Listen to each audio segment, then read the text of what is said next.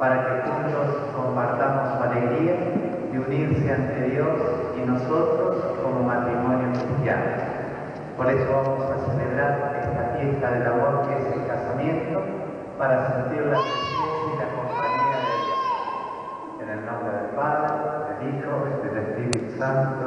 Amén. Gloria al esposo. Por Jesucristo nuestro Señor. Amén. Podemos tomar asiento. Vamos a escuchar un pedacito de la palabra de Dios, de la Biblia, así sentimos la presencia y la compañía de Dios que nos ayuda a interpretar las celebraciones de casamiento. Y Iglesia y el Salvador de la Iglesia que es su cuerpo. Así como la Iglesia está sometida a Cristo, de la misma manera las mujeres deben respetar en todos sus maridos. Masa se ama a sí mismo. Nadie menosprecia su propio cuerpo, sino que lo alimenta y lo cuida. Así hace Cristo por la Iglesia, por nosotros, que somos los miembros de su cuerpo. Cada uno debe amar a su mujer como a sí mismo y la esposa debe respetar a su marido. Palabra de Dios. Te alabamos, Señor. Usa de signos concretos, cosas simples de nuestra vida para mostrarnos su amor. Y es lo que llamamos en la iglesia los sacramentos, es decir, que son signos del amor de Dios. Y Dios para mostrarnos el amor por nosotros que nos ama. Por eso es que Dios ha elegido hoy a Juan Pablo y a Sandra para que ellos sean signos del amor de Dios. Es decir, del ver cómo ellos se quieren, cómo van compartiendo sus vidas, nos tiene que hacer acordar a nosotros al amor de Dios por su pueblo. Y porque Dios los ha elegido como signos de su amor, Él los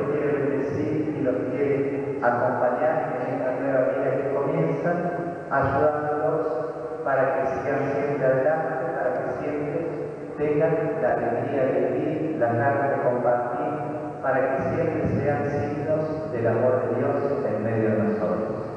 Vamos a pedir entonces a este Dios que es amor, que siempre los acompañe, que siempre los ayude y los guíe, y que también todos nosotros, así como los acompañamos hoy acá en la iglesia, los acompañemos siempre en esta nueva vida que comienzan como matrimonio.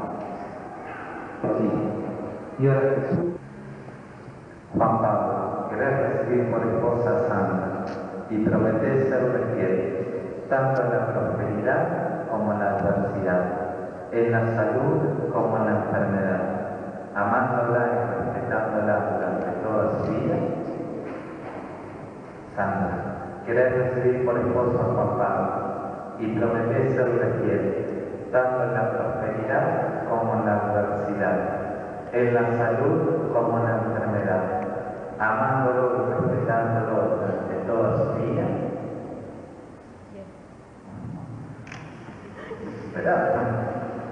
Y que Dios confirme el consentimiento que han manifestado delante de todos nosotros y realicen ustedes lo que su bendición les promete, y que el hombre no se separe que Dios aún.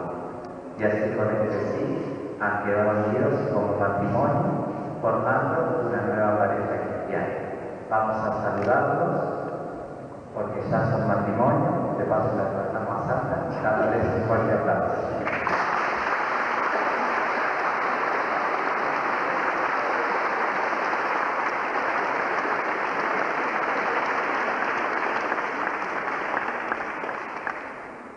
Vamos a decir ahora para que estos anillos, signo de la fidelidad que se deben, sirvan para recordarles el amor que los une.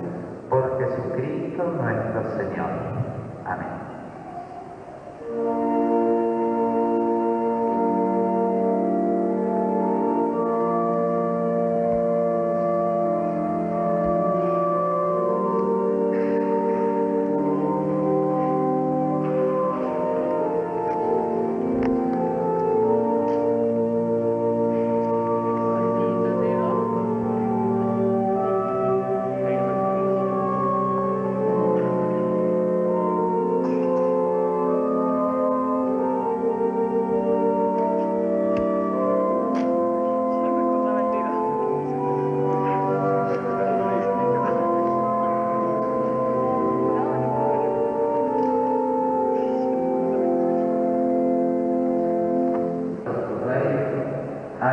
tu voluntad en la tierra como en el cielo. Danos hoy nuestro pan de cada día, perdona nuestras ofensas, como también nosotros perdonamos a los que nos ofenden. No nos dejes la de la mujer, los creados en matrimonio. Regalamos más abundante bendición para que a la vez que se alegran de su mutua entrega, hagan fecundos hogares y nos enriquezcan espiritualmente.